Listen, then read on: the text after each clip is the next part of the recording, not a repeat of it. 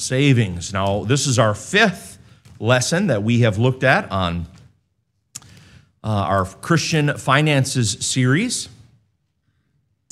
And Proverbs 6 is where we want to turn.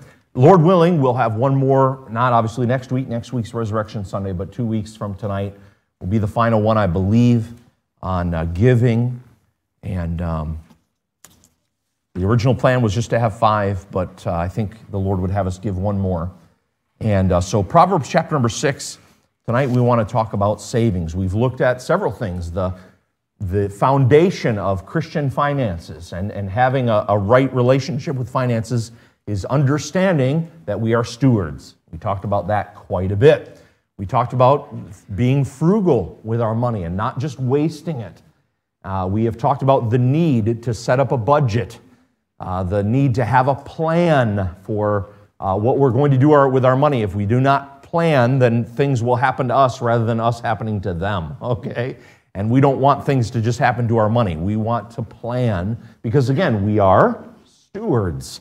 And so God expects us to have things planned out. And we may not be able to know everything that's going to happen, but usually the trouble we have is not because it was some surprise, like Christmas comes every year right? So we shouldn't be surprised when it's time to buy the kids gifts. It's every year at the same time, right? Usually it's our lack of planning that causes us to have financial difficulties. We talked last week about debt and the need to be very careful with debt and to use it, again, as a steward would use it very carefully. Proverbs chapter 6, tonight we're going to talk about savings. Proverbs 6, verse 1. My son, if thou be surety for thy friend, if thou hast stricken thy hand with a stranger, thou art snared with the words of thy mouth, thou art taken with the words of thy mouth. Do this now, my son, and deliver thyself. When thou art come into the hand of thy friend, go, humble thyself, and make sure thy friend. Give not sleep to thine eyes, nor slumber to thine eyelids. Deliver thyself as a roe from the hand of the hunter, and as a bird from the hand of the fowler. Now, notice verse 6 Go to the ant, thou sluggard.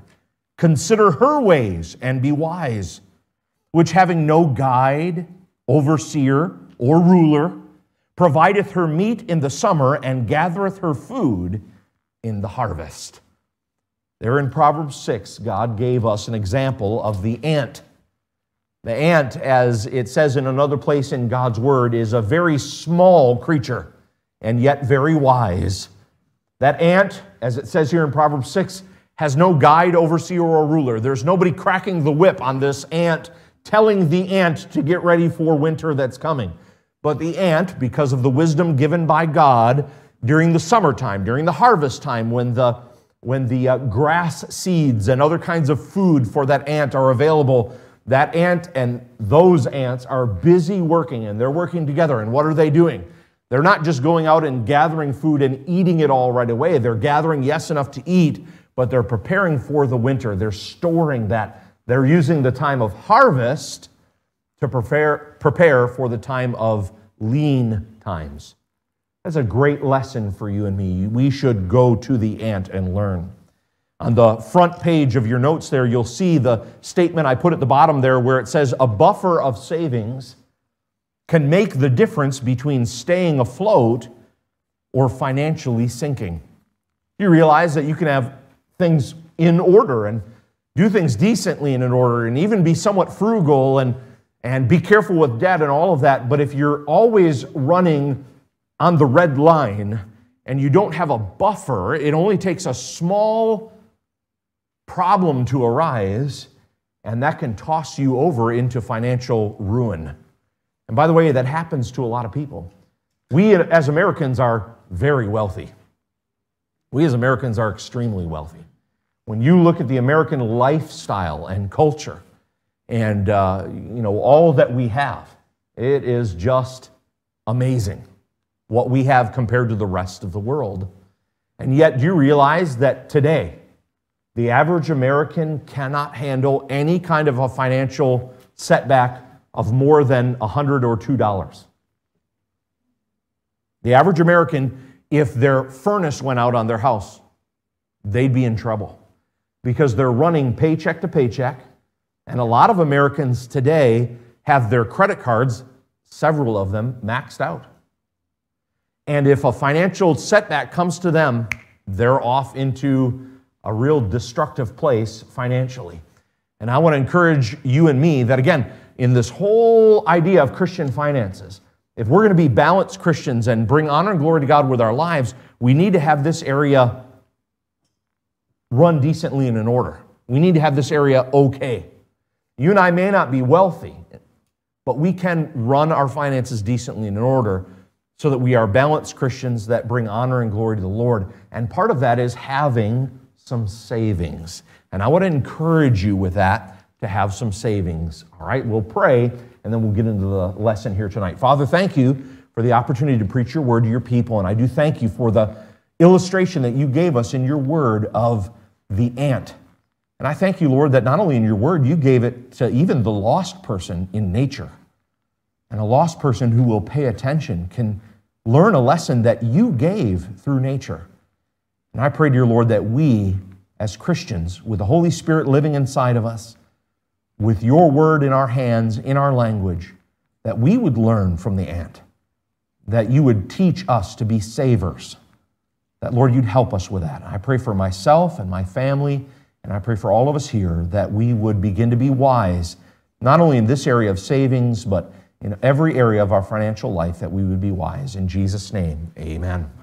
All right, so if you would look with me in your notes there. What I did for this lesson is I gave you five questions, all right? Five questions. The first one on the first page is why should I save? Let me give you some reasons why you should save. Number one, because in the sin cursed world, evil days are sure to come.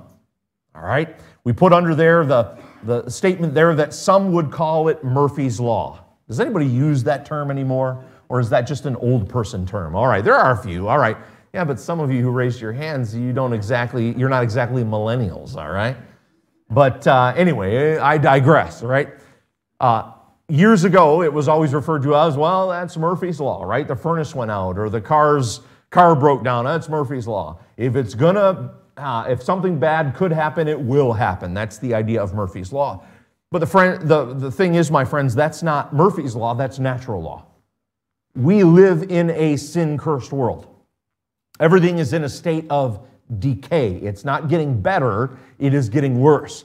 And you and I need to understand that, that we live in a sin cursed world, and there's all kinds of things going on behind the scenes, even in the spiritual realm, that we don't see. And we are in a sin cursed world, and evil days are sure to come. And by evil, I don't mean wicked, I just mean negative problems, and God has allowed that in this world, yes, even for the Christian, those things would come. I hope it didn't take you long as a Christian to figure out that when you believed on the Lord Jesus Christ, life did not get necessarily easier. In fact, if anything, the heat got turned up a little bit. Thankfully, we have the Lord. Praise God that we have His wisdom to know how to prepare for those evil days. But evil days are going to come. Job 5 7 in your notes Yet man is born unto trouble as the sparks fly upward. Every time the sparks fly upward, it is part of natural law. Heat rises. Well, part of natural law is man is born unto trouble. There is going to be trouble in life. You and I need to be prepared. We should also save, letter B, because if you have a surplus now, there is a reason. Go to the ant, thou sluggard. Why does the ant save during summer because that's when the surplus is. And if you and I are in a situation where there is a surplus, and by a surplus, I mean that we have money that is, uh, I'm, I'm missing the term here, but it, it, it, we have discretionary spending. That's what I'm trying to think of. If we have money that is discretionary, that's surplus. What I mean by that is this if, if you and I have enough money to have a subscription to any kind of entertainment form, then we have surplus. If we have money to, you know, have the latest cell phone or within a couple of years, then we have surplus. If we have money to, you know, we could list on and on. If we have any discretionary money at all where we are not down to the absolute bare bones, then we have a surplus. And a lot of Americans, a lot of times, we don't think that way. We think to ourselves, well, I, I don't have anything extra. But again, when we go to the store, uh, we put in the cart a 12 pack of Coke or Diet Coke or some other kind of ungodly uh, liquid that we're going to put in our bodies later. And by the way, I love Coke, all right? I don't drink it that often, but there's not much better than Coca Cola. Amen and amen. That's my time in Mexico, Brother Esteban. Those Mexicans had a bad influence on me. We love our Coca Cola, all right? My dad was the same way, though, too. Whenever we'd have a Pepsi, he'd say, No, thank you, that's a WW drink. You remember that, Donna? For women and wimps. he said, I would take a Coke, thank you very much, all right? But listen, I was at Kwik Trip the other day, gassing up and using the restroom, and as I came out of the restroom, they had a stand there for Coca Cola. Now, this is Kwik Trip, not Woodman's or someplace like that, but nonetheless, I believe that 12 pack, I believe the price on it was 11 or $12. Number one, that's ludicrous. but number two, anybody who spends 11 or $12 on a 12 pack of Coke has a surplus because we don't need that. You know, water still works. To hydrate, in fact, you'll be a lot better off, amen? if we get it, stay away from the soda and juice and, and the rest of the things and we just drink water. But and I'm not saying we shouldn't have those things. I'm just saying let's change our perspective a little bit and recognize that sometimes we think, oh, I don't have any surplus. But we do. We're just spending the surplus we have on things that we want, not necessarily what we should spend it on, okay? So, because if I have a surplus now, there's a reason why I have a surplus. God is giving me that surplus for a reason. If I can afford to go, and I can right now, to Woodman's and buy a 12 pack of Coke or to Culver's tonight after the service and get some custard, or, you know, we've talked about these things. If I have that money, well, God gave it to me and for a reason. And some of that might be to enjoy life a little bit. And again, not wrong to go to Culver's and Arnold and Jan met somebody who was in church, to a couple that were in church this morning, that they met at Culver's, and they wanted me to tell you. Arnold said that is a good place to go soul winning. right, Brother Arnold? Now, they were already saved, so that doesn't count. But anyway, they, but they were in church, right? So it's not wrong to do that.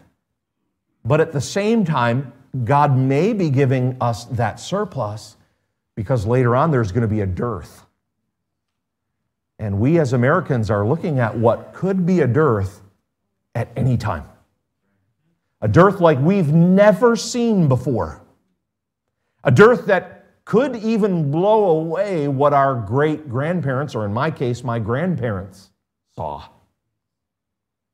So God may be giving us a surplus now, not so that we can live life high on the hog, so to speak, so that we could be prepared for evil days. Turn with me quickly. We don't have time to look at all of it, but Genesis 41. You'll recognize this passage of Scripture. I'm sure you could probably guess I was going to go here. Genesis 41, verse 25. Here is such a great Bible illustration of God giving a surplus because a, a uh, dearth was in the future. Genesis 41, verse 25. And Joseph said unto Pharaoh, The dream of Pharaoh is one. And I love this phrase God hath showed Pharaoh what he is about to do. Isn't God a good God? Pharaoh didn't love God. Pharaoh could care less about God. He was worshiping other gods. But the God of heaven showed Pharaoh what he was about to do. We serve a great God. Verse 26 The seven good kine are seven years, and the seven good ears are seven years. The dream is one. And the seven thin and ill favored kine that came up after them are seven years, and the seven empty ears blasted with the east wind shall be seven years of famine. This is the thing which I have spoken unto Pharaoh. What God is about to do, he showeth unto Pharaoh. Behold, there come seven years of great plenty throughout all the land of Egypt, and there shall arise after them seven years of famine. And all the plenty shall be forgotten in the land of Egypt, and the famine shall consume the land. And the plenty shall not be known in the land by reason of that famine following, for it shall be very grievous. And for that the dream was doubled unto Pharaoh twice. It is because the thing is established by God, and God will shortly bring it to pass. You see, God was showing Pharaoh, I'm going to give you seven years of blessing in preparation for the seven years of famine. Would to God that we as his people would have the same wisdom that Pharaoh had. To recognize that maybe this time of plenty is God preparing me for a time of famine to come? I should be a saver. You should be a saver because if we have a surplus now, there is a reason. Let's go back to our notes. Letter C, here's another reason. Because without a plan for saving, you are likely to foolishly spend all that comes in your possession. I'm going to say that again. Without a plan for saving, you are likely to foolishly spend all that comes into your possession. I want you to think tonight of your finances like a river. Think of it as a river. Can you picture a river in your mind? Your income could be a very large river, as I put in your notes, like the mighty Mississippi. A big river that's flowing fast and is very wide. That could be your finances. If so, I want to be your friend.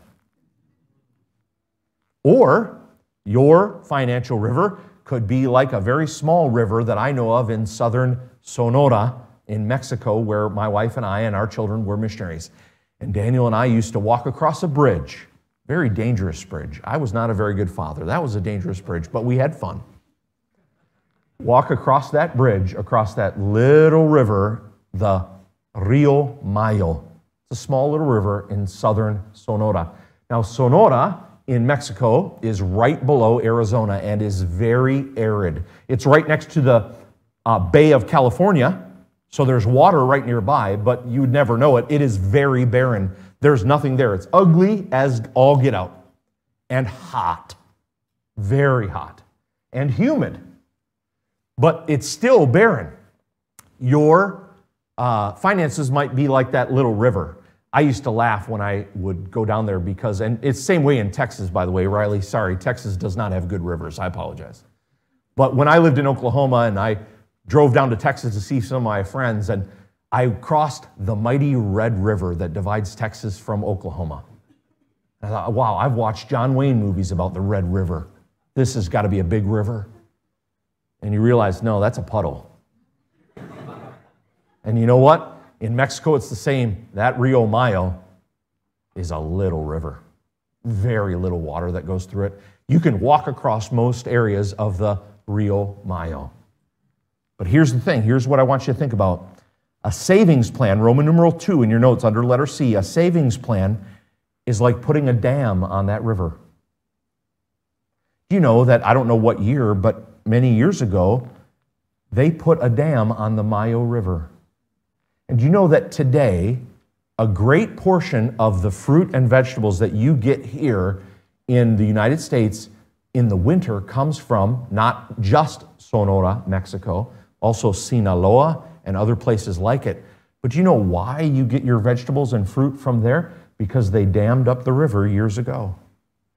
And behind that dam, what happened? That water began to just pile up and pile up and pile up and pile up. And today, they have come up with a just unbelievably great way to irrigate that land. And that little bit of water that comes through there, it's not much. Because it has been dammed up and there is a reservoir, they can apply it here and apply it there. And amazing fruits and vegetables are grown in that area that is very barren, all because someone was smart enough to say, we should save some of this water. Because without it, it's just traveling by. There it goes. And here comes some more. And there it goes. And here comes some more. And there it goes. And many of us, our finances are like that. Here comes some more. And there it goes. Here comes some more. And there it goes. And we wonder why, when we have a need, there's nothing here. I make all this money. What happens to my money? It's because you've never put a dam on the river. You need to learn to put a dam on the river and save a great amount of that so that there, when there comes a time that you have a need, you can thoughtfully and carefully apply that money so that it can do a great amount of good. Look at your notes there. Without a dam on the river, the large amount of water in the river is just passing through quickly and can do little good. It does some, but little. But with that dam, the water can be thoughtfully applied, and even a small river can have a great impact. And again, it's amazing what it has done to the landscape and the economy of Sonora, Mexico, all because they thoughtfully applied a dam to a little river. Letter D, another reason why you and I should be savers is because God wants to use us to be a blessing to others. And you realize that you can't give what you don't have. A lot of times, there are opportunities that we have to be a blessing to somebody. But we have nothing. And it's not because money wasn't coming into our account, but it's because we never saved it. It came and it went. And the next check came and it went. And the next check came and it went. And then there's a need. There was a couple in our service this morning that Brother Arnold and Miss Jan met. I mentioned to you at Culver's, and they were here this morning. Hopefully, we'll see more of them, but their little one is in the Children's Hospital downtown. Was born four weeks ago. I think it was four, five weeks ago, four or five weeks ago, uh, with half a heart. And is struggling, has to have several surgeries. They had to amputate the little one's, the boy, his name is Ezra, Ezra James, had to amputate his foot just this last week. Listen, I don't know what needs they will have, but I have a sense that they have some needs. You know, if you and I are just letting our money just go through, and somebody like that comes and our heart goes out to them, well, we have nothing to give. There's nothing there. I can't give what I don't have. See, God wants, if I have surplus, it may not just be that God wants me to dam up the river, so to speak, so that I'll have more. It may be that God wants me to dam up the river so that someday somebody else can come along and I can say, Here, here's some water that God led me to save for you. And boy, I tell you what, you want to talk about joy and happiness in your heart? I don't know of a better way to have joy in your heart than to be able to have some money that you can actually afford to give to somebody because you've saved it. And you can say, Here, let me be a blessing to you. Well, you want to talk about putting a smile on your face, that will do it. So God wants us to be a saver because of that. Let's look at number two. Next question When should I save? Well, first of all, letter A, after God. Not after God saves, all right? But after you give God the tithe. Let me encourage you with that. After you give God tithe, Genesis 14 20. And blessed be the Most High God, which hath delivered thine enemies into thy hand. And he gave him tithes of all. That was Abram, right? God was uh, uh, met Abraham in the uh, form of Melchizedek, and uh, Abraham gave him tithes of all. Why is tithing first important? We're going to see this a little bit later on in our notes. But the temptation when you do get some savings, the temptation is to trust in the savings. And we're going to see that later on, and I'm going to warn you against that. Well, one of the ways to help avoid trusting in your savings is to tithe. Because you're reminding yourself every week or every two weeks or every month or however often you get paid, you're reminding yourself, I'm trusting in God. Here, God, you are my God. Here, God, you are my God. God, I'm trusting in you, not my savings. God, you are my God. That's what tithe is all about. And so I would encourage you when should you t- uh, save? after you tithe. And then not only that, Roman numeral 2, the next page of your notes, after I give to God's work. 1 Corinthians 16, 1 and 2. Now concerning the collection for the saints, as I have given order to the churches of Galatia, even so do ye. Upon the first day of the week, let every one of you lay by him in store as God hath prospered him. Let me encourage you to give to the Lord's work. Tithe, yes. But above and beyond that, give. I would never ask you to give what you do not have. But I will ask you to give sacrificially out of what you do have. And by God's grace, I'll do the same. And God will bless us and God will use us. Let me encourage you after you give God's work. And then uh, letter B, this is after God now. And then letter B, after I get my finances in order. We won't look up 1 Corinthians 14 40, but you know it. Let all things be done decently and in order. So I should save after I get my finances in order. In other words, reminding you, get a functioning budget set up. Get that set up. Do that. You don't, you're not able to save if you don't have a plan for your money. Not only that, get a plan to get out of debt. You're, you're handicapped in your ability to save much if you're paying interest to a bank. Okay? Now, um, if we were to go, let's just say, to Chicago, all right? We were to go to Chicago.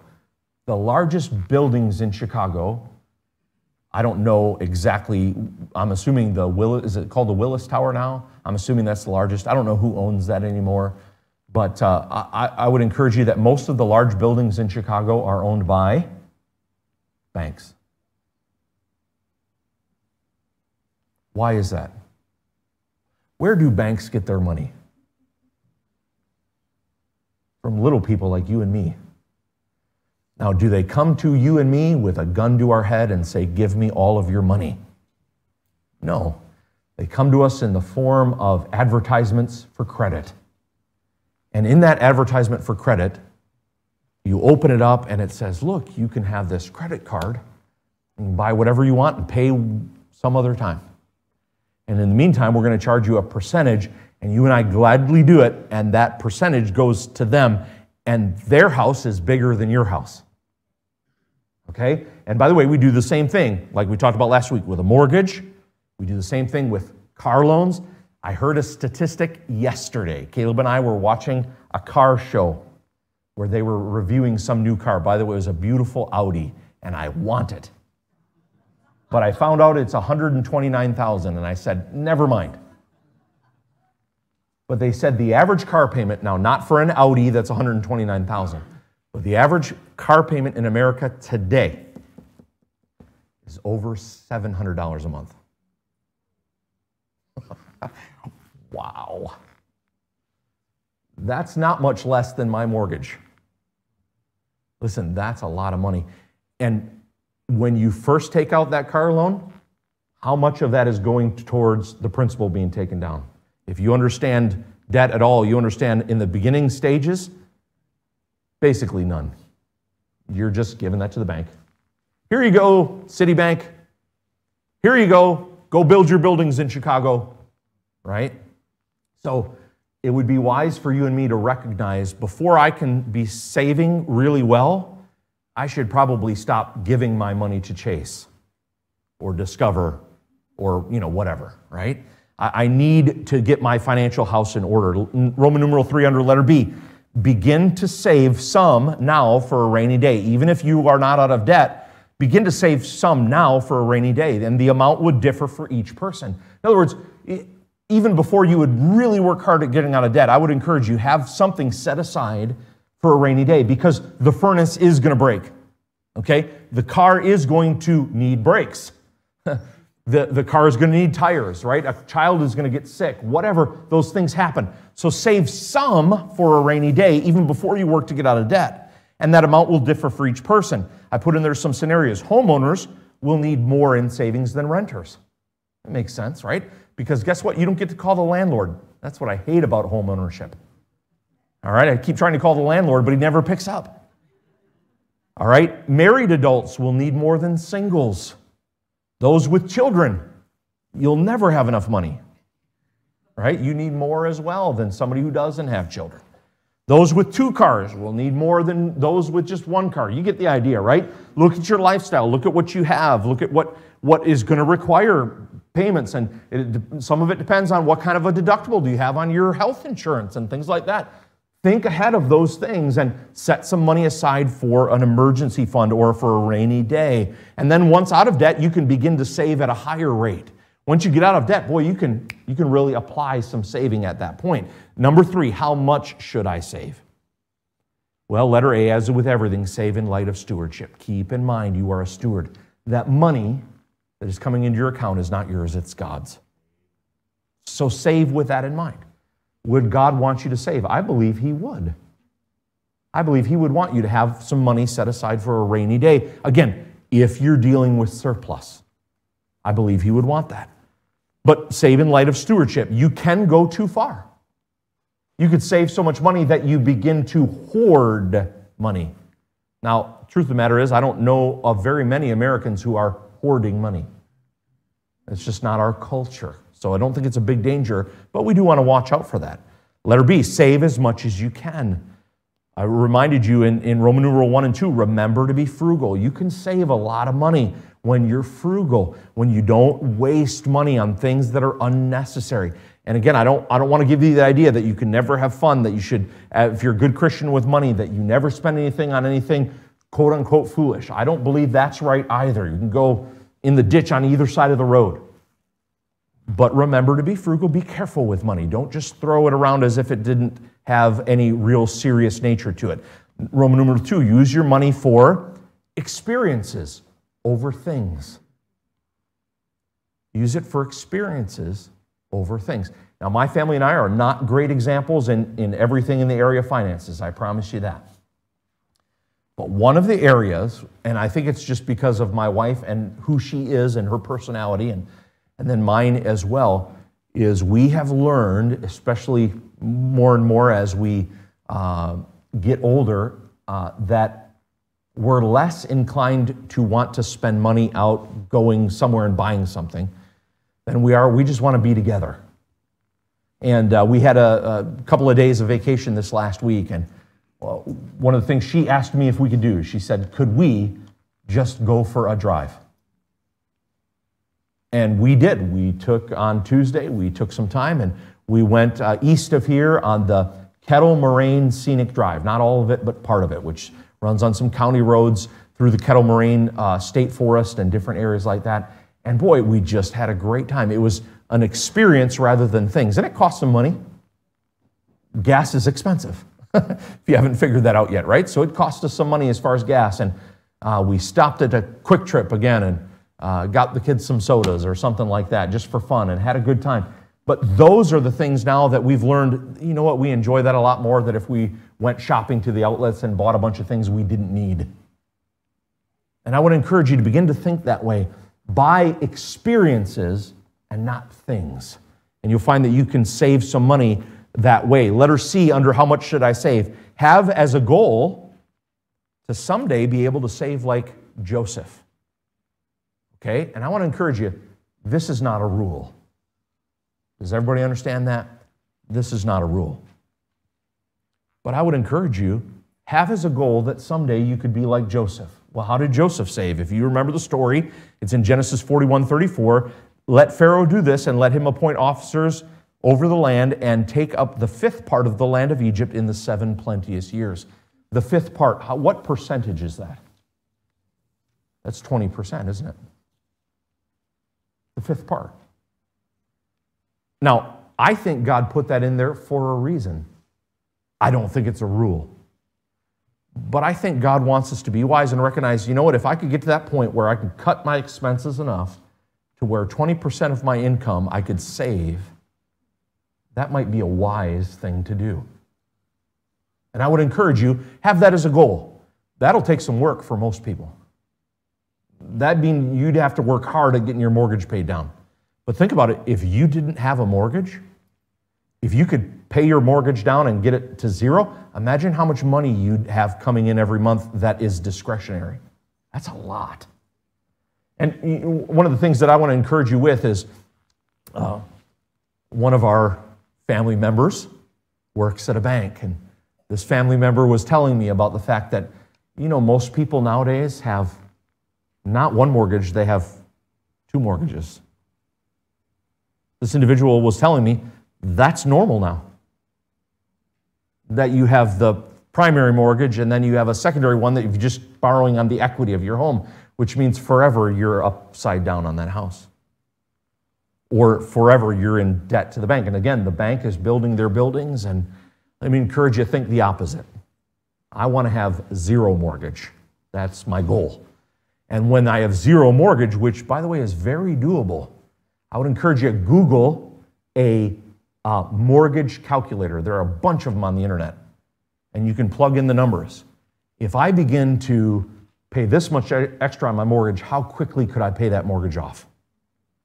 And begin to attack it. Imagine what you could do if you had no credit card debt, no vehicle debt, and your mortgage was paid off. I bet you could easily save 20% and be like Joseph. And I think God would be pleased if we would do that. Let's go to the last page here. We need to be quick with this. Number four, where should I save? And I want to say as I go through number four, I am not an all knowing financial guru. I think all of you know that here, okay? But let me just encourage you in two ways. Letter A, have an emergency fund that's easy to access. Remember, we talked about that rainy day. Have some money set aside in a form that's easy to access. Don't put it in a CD that you know won't mature for six months or whatever. Have it easy to access. Uh, just a savings account would be good. And you might say, well, Pastor, but it's not earning you know, any interest whatsoever. Hey, it's, it's not about putting it away to earn interest. It's about having some money for when the furnace goes down. It's about having some money set aside for when the car breaks down, okay? Have that money easy to access. Put it in a, listen, put it in a specific savings account. Don't have it in your checking account. Are you hearing me on this? Don't put it in your checking account. Say, why, Pastor? Why? You're so mean. Yeah, because you know what you'll do with it. You're like me. If it's there, it's burning a hole in your pocket. Oh man, it's there. And there's those that pair of shoes I've always wanted. Or that thing I've always wanted, right? And it, it, put it in a separate account. And I would encourage you maybe even a different bank than your primary bank. But whatever, put it so it's easily accessible, but not so easily accessible that you're tempted to spend it. And then letter B, have some type of retirement account. Begin to save while you are young, if it's possible. All right? Those of you who are young, I'll leave it up to you to decide that. Let me encourage you don't wait until you are in your 40s to save. I did just some, some math real quick let's say that you graduate from college or whatever, you finish whatever training you're going to do at 22 years old, and you want to begin to save. And so you have until 65, you have 43 years. Is my math right on that? You're 22 plus 43 is 65. So 43 years. You realize that if you just put $250 a month in some type of a retirement account, $250 a month, which by the way is not much at all it may seem like a lot, but once you start realizing how much money you're going to be spending on everything else, that's not that much. Listen, my, my electric and gas bill together during the winter isn't too far from that. And probably some of you are like me with that. Okay? So $250 a month isn't that much. But if you'll do that, if you only get an 8% return, which is actually somewhat low, you can get higher than that if you, if you do it right.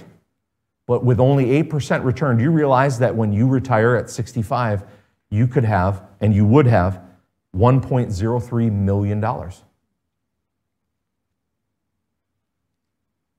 Think about that. $250 a month, that's not much. That's, not, that's something that the average American easily can do. But young people, let me encourage you with this. Here's what most young people who are 22 years old do. Instead of beginning to save in some type of a retirement account, they instead go down to the car lot and they say, Ooh, that one's pretty. Right? Or they spend that same $250 a month on, you know, whatever, on shoes and clothes or going out with friends or whatever. And boy, start now when you are young. Some kind of retirement account. Why? Because Social Security probably won't be there for you. And you want to be able to not be so wealthy that you can you know, flaunt your wealth. I, I hope nobody here would have that mentality. But you want to be able to, when you are at retirement age, you want to be able to live.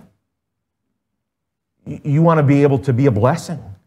And as I've talked to you about before, there are people that I know of today that are in their retirement years who are missionaries.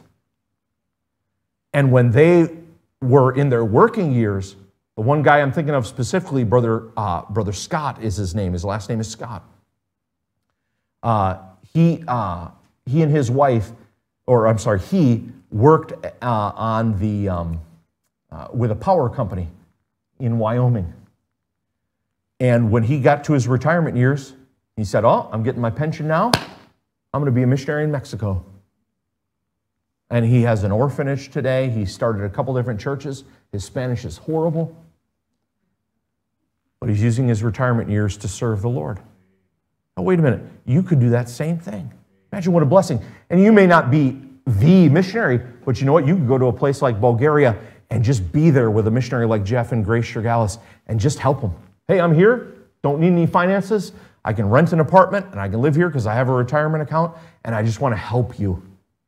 Or whatever. There's so many things you could do. And God wants to use your life. But you have to be wise. You have to begin to think about those things now Avoid get rich quick thinking. and instead think long term, okay? Avoid get rich quick thinking. Leave the stuff alone that's, oh man, I heard that somebody bought such and such and then they sold it a month later and they, you know, gained however many percent on it. That works every once in a while, but most of the time people lose on it. Begin to think long term. Okay? Be wise. Remember, you are a steward of that money. And then I would encourage you with this get an advisor with your finances. Get an advisor. And what I mean by that is not pastor. Get a financial advisor. They will help you. And I can refer you to the, the guy who helps me is a blessing. Listen, he's a blessing. Uh, he's, a, he's a Christian. I believe he's born again. And uh, he understands my thinking when I tell him, I don't want to be rich. No, if God makes me rich, I'm not going to complain. But that's not what I'm after. I just want to be able to save enough to where when I'm so old that I can't preach and be a blessing to the church anymore, the church doesn't have to continue to pay me a salary because they feel bad for their pastor. I want to be able to ride off into the sunset, so to speak, and say, I served God with my, you know, with my greatest years, and now, church, here's another younger pastor. There you go. And I'm going to go and serve God in another way. I want to be able to do that. And so he understands that. And I can help you to find somebody who understands what it means to be a Christian, all right? Number five, what if? That's the last question. What if? Letter A, what if I have no savings? Well, you can already guess what I'm going to say. Get busy saving right away. Number two, reduce expenses to the bare minimum. Number three, start saving what you can, even if it's small. You might say, but I only have $25 a month. Good, save that. Save it, save it, save it, save it, save it. Don't waste it. Start saving now. God will bless you and it will grow. Letter B, what if I barely make enough to scrape by? Save what little you can and trust God to enlarge it. I believe that if you are faithful in the little things, God will give you greater things. So if you only make enough to barely scrape by and you say, well, I only have, again, $25 a month extra or $5 a month extra, maybe you should save that. And maybe God would say, there's somebody I can entrust with more because they're wise. And I believe God will. Letter C. I'm sorry, uh, yeah, letter C. What if I have been saving already? Well, fulfill the charge given in 1 Timothy 6. I wish we had time to look at it, we just don't. But I would encourage you to look at 1 Timothy 6. Here's what it says Don't be high minded. All right, if you've been saving and you have some money set aside, you've dammed up the river a long time ago and now the reservoir is getting full, hey, that's a blessing. Don't let it go to your head. Because I guarantee you, you haven't saved enough. What I mean by that is, if the economy crashes, I don't know that anyone saved enough. I think we ought to be wise and try to do what we can. But don't get high minded. Don't think, oh boy, I did it right, and those other people, they aren't as smart as me. Be careful, all right? Also, don't trust those riches, but rather trust in God. Proverbs 21 31, the horse is prepared against the day of battle, but safety is of the Lord. Matthew 6 26, behold the fowls of the air, for they sow not, neither do they reap, nor gather into barns. Yet your heavenly Father feedeth them. Are he not much better than they? Do you see what God has done in his word? On one hand, he's given us the ant as an example. Go to the ant, thou sluggard, consider her ways and be wise. She saves, is basically what he's saying. In another passage of scripture, he says, Look at the birds. They don't save, and God takes care of them. Do you realize that God wants us to take both of those? They're both true. God gave us two illustrations of seemingly contradictory things, but they're not. They're a balance. That you and I ought to do what we can to save and consider the ways of the ant and be wise. But in the end of it all, Lord, I'm not trusting in that savings because you take care of even the birds. And God, you're going to take care of me. And the truth of the matter is, if the economy crashes tomorrow, and it might, I did what I could, I saved what I could. I was pretty foolish with a lot of things in my finances. But I did save some, and I'm just trusting in the mercy and grace of God to keep me. That's what we need to do. And then be generous and lay up treasures in heaven. If you have saved, be generous. Matthew 6:20, but lay up for yourselves treasures in heaven, where neither moth nor rust doth corrupt, and where thieves do not break through nor steal. Remember, God gave you that savings for a reason. Be generous with it. Lay up treasure in heaven. That treasure in heaven is what you really want. I love, and I, I, I hope I'm not too carnal in this, but I love the um, Charles Dickens story, A Christmas Carol. And, and I love the ending of it. Because, and again, I realize it's a lost situation, it's not from the Bible, but there's some biblical truth there. Here's a guy who's stingy and holds on to it all, and he's miserable and has no friends and all of that. And when he's confronted by the reality that I love what his friend Jacob Marley says in that situation when he meets him, he says, Listen, mankind was my business. I was good in business, but I didn't realize mankind was my business. You know, sometimes as Christians, we need to remember that as well. Why does God have us here? Mankind is our business.